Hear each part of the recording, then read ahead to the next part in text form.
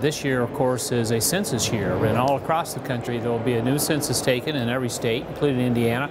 That's a very important function because it leads to next year things uh, such as redistricting our uh, legislative uh, districts here in the state of Indiana. And we've been criticized in the past for gerrymandering, for not having uh, districts which are uh, logical when, the, uh, when you look at them. So we have proposed in the Indiana Senate Democrat Caucus a bipartisan or a nonpartisan uh, commission to assist in the redistricting process. We think there's time to do that this year, to put that in place so that next year the Commission can do its work, make recommendations to the General Assembly which could be acted on upon us.